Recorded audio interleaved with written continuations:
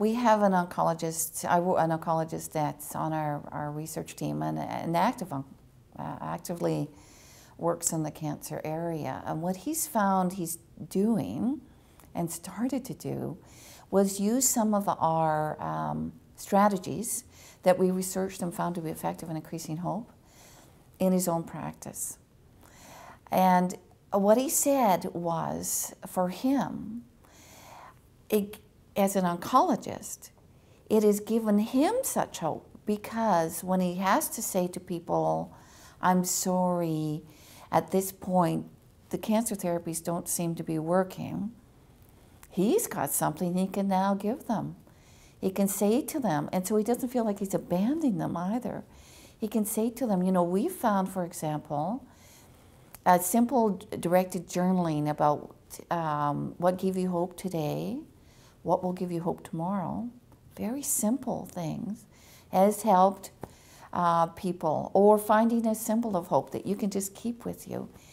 So, in his own practice, he's found that it actually has given him tools and, and it gives he himself more hope in terms of doing this.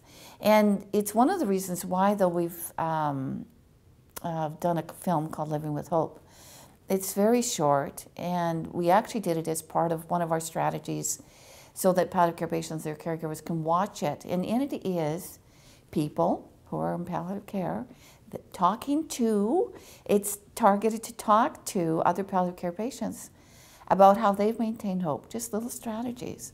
So it's just a simple message, but it's very powerful for physicians and nurses and other healthcare providers that are working palliative care patients. There is some research now being done on what's called hopeful communication.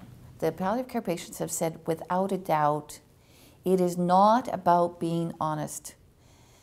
The best communication is to be honest with us about our prognosis. We don't want to hear it, but we need to hear it.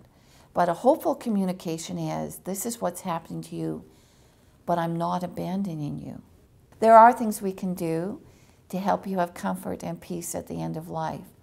So, yes, we're not now focusing on a cure because the treatments aren't working that way. But yes, there are things we can do.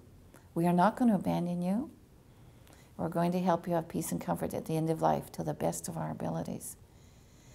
And they say that is hopeful communication because remember, hope is about the possibility for a better future. And so it helps them, even though it's devastating and it threatens hope. But they go through a process of, um, trans- we called it transforming hope because it is a bit of a transformative process that you go through when your life is ending. It's a transcendent process, actually. But it's being able to see beyond your situation. And that's where we need to help them sometimes. And in doing that, they can refocus their hope and, and, and be able to look for that positive future.